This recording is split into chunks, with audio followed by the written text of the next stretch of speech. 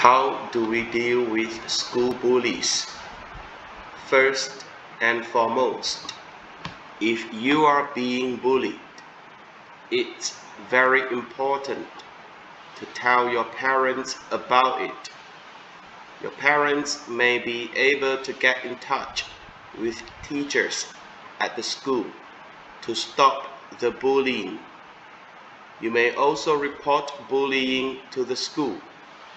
You may inform teachers or the principal. These individuals have the power to help stop bullying. Sometimes, bullies stop as soon as a teacher finds out because they are afraid that they will get into trouble. Besides, you may also avoid the bullies wherever possible. For example, you must not give the bullies a chance to bully you by avoiding them. You should think about where you usually bump into the bullies and avoid going to those places.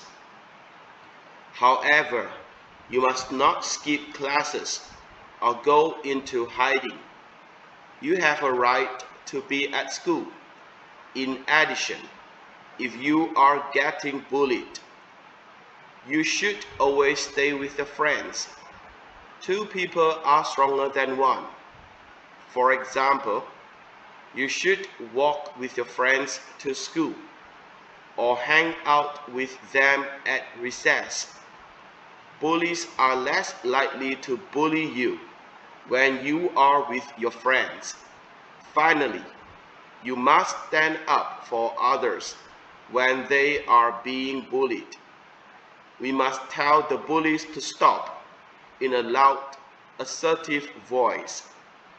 In this way, we can send a message to the bullies that we are not afraid of them and will not accept their and will not accept their behavior.